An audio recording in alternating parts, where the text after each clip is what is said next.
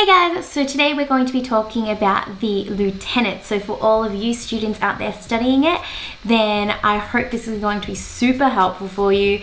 As always, if you're not studying this text, don't worry, keep watching because I feel like there's always something valuable that you can take away from hearing about other stories and understanding what type of themes and what type of symbols are out there because they might actually apply to your own text. And I really want you guys to stay until the very end of this video today because I have a really exciting announcement to share with you all. This video's takeaway message focuses on tackling prompts that include quotations. So although quotations might seem superfluous, they actually are really handy at giving you hints on how to tackle or challenge the essay topic. It's there for a reason, so if you are familiar with the quote, then I 100% recommend you to incorporate it into your essay. Before we unpack today's essay topic, let's have a look at some quick background information to get you up to speed. Kate Grenville's The Lieutenant explores the commonality of the human spirit amidst tumultuous conflict conflict during the First Fleet's arrival in Australia in 1788. Drawing upon the true experiences of William Dawes, a British astronomer and one of the lieutenants to travel with the First Fleet, Grenville crafts a work of fiction inspired by Dawes' Two Little Blue Notebooks detailing his growing understanding of the Aboriginal language, Gadigal, and his conversations and connection with Patyegarang, a young Aboriginal girl. The ability for two individuals from completely different worlds to transcend their differences in order to share cherished moments and understandings together is exemplified in The Lieutenant, alongside the rife external and internal conflicts which threaten such a relationship. Today's prompt is, but a man could not travel along two different paths. How does Grenville explore Rooke's conflict of conscience in The Lieutenant? Start off with focusing on the key words in this prompt, especially the phrases that resonate with you for steps one and two of brainstorming, which I have spoken to you in previous essay prompt breakdown videos. In particular, let's have a look at the phrase conflict of conscience, as this captures the essence of the prompt and is what you really need to focus on in this essay. Conflict of conscience suggests internal conflict, which implies that we will need to consider morality morality and the concepts of right and wrong, especially when a difficult decision must be made and sides need to be taken. Conflict itself is a central theme of Lieutenant. However, it is important to recognize that this topic considers conflict through the narrower lens of conflict of conscience. This means in your discussion, the relevance to the prompt is crucial in ensuring that you're actually answering the question. But first, let's analyze the quote, but a man could not travel along two different paths. This quote alludes to Rooke's realization regarding the reality of his identity, not only as Tagaran's friend or Kamara, but also as a soldier or Berewalgal. I really hope that I'm pronouncing these okay. The resignation and recognition of the impossible, that is, for Rooke to continue attempting to appease both sides without making critical decisions about who and what he ultimately valued more, is evident in this quote. Hence, this quote refers to the conflict of conscience he experiences and provides us with an insight not only into his character, but also conflict itself. Why is it not possible for a man to travel along two paths? What would happen if he tried?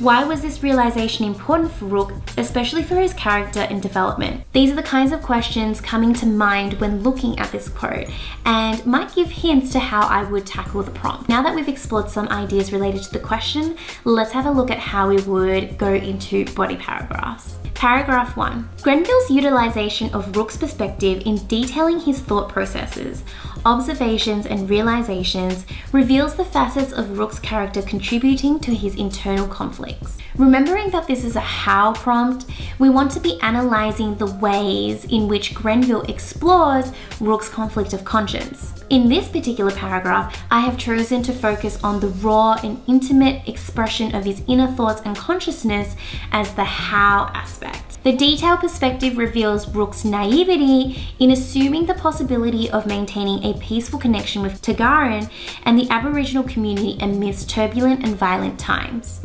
Consequently, it highlights his realizations regarding the morality of the conflicts he's involved in, and how, despite one's admirable intentions, a man could not travel along two paths without facing dire consequences for their actions. Questions I might ask myself here include why does Rooke initially try to deny the reality of his situation? What does his preference for a peaceful and accepting approach towards Indigenous Australians suggest about his approach to conflict?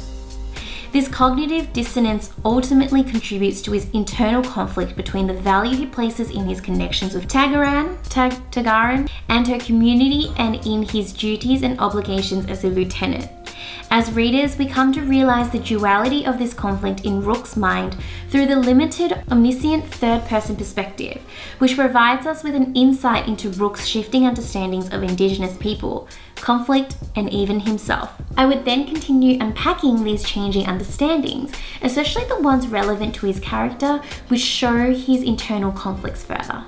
Paragraph 2. In addition, the stark contrast between Rooke's approach to his conflict of conscience and other soldiers' approaches underscores the rationale behind his actions and the stakes ineluctably linked with his choices and morality. This paragraph's analysis revolves around Grenville's inclusion of a host of different characters and outlooks, from Indigenous Australians to intransigent colonial perspectives. I would emphasise the importance of juxtaposition between these different perspectives, as it elucidates the values and beliefs underpinning each individual's choices, especially during conflict. Although the core of the essay discusses internal conflicts, highlighting the connections between internal and external conflict will add an extra layer of complexity to your essay. Rooke's conflict of conscience results in his permanent departure from Australia, and fleshing out the ramifications of dissent and opposition towards the other colonials is key in demonstrating your understanding of the complex and intertwined nature of conflict. Paragraph 3. Through the detrimental implications of Rooke's initial conflict avoidance, Grenville's focus on his subsequent self awareness to unite his morals and his actions highlights the strength of his character to resolve his eternal conflicts to prevent further perpetration of injustice towards the Aboriginal population. Here, I'm having a closer look at how Rooke's encounters with his conflicts of conscience and the repercussions of his actions in attempting to take a middle ground stance catalyze his development as an individual. In particular, how it solidifies his moral stance and his decision to act in a manner that reflects his beliefs. By showing Tagaran how to load a gun but not how to fire it, or by accepting the navigator role but distancing himself from the group, he endeavours to avoid conflict with either side. However, passivity is a stance within itself, and in the case of the treatment towards the Indigenous Australians, Rooke's silence in not rejecting the actions of other Berewalgal inevitably enables injustice to continue. It is only through his understanding that non-committal actions also incriminate him as a perpetrator that his choice to sacrifice his colonial obligations for taking an active stance to fulfill his moral obligations comes to light. This reveals the role that internal conflicts may have in inciting powerful change and realizations in an individual. The complexity of internal conflict is difficult to discuss but by using the quote and having a look at the implications of the quotes, this will enable you to offer a more sophisticated and insightful understanding and discussion of both the lieutenant and conflict. I want to say a really big thank you to Michelle, who is one of my amazing tutors at Lisa's Study Guides, and we all work together to ensure that you guys get the best resources possible. So thank you Michelle for participating and being a part of this. And lastly, I wanted to share with you guys the thing that I said that was super exciting. As you guys know, Lisa Study Guides produces our own study guides. In fact, we just have the one.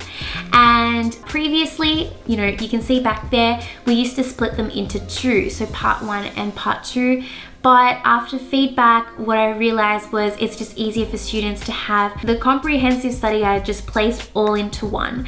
And so I've been working with my animator who has also become my book cover designer and book formatting designer and together we have created the second edition of the Ultimate English Study Guide for you guys. So this is currently available for you guys to purchase and it has some new updated text in there as well. So if your text is only just jumped onto the syllabus or you're doing the lieutenant, for example, then I highly recommend you have a look and see if your text is on there. Most likely it will be so that the, the actual study guide itself will be super relevant for you guys. I think what students have liked best from feedback with these study guides are how we break down structure really easily and in a straightforward way so you know how to actually apply it yourself. And secondly, how we include A plus essays in there that are all fully annotated for you guys so that you know how to actually strive for that A plus and how to get there rather than just trying to replicate an essay that is good, but you don't actually know why it's good. So yeah, I wanted to share with that with you guys. It's just something that I work really hard on in the background and I'd really love your support. So I will see you guys next week. There are definitely more essay question breakdowns to come. So I will get onto those now and start working more for you guys, offering more videos and more, and more, more resources because that's what we're all about. Okay,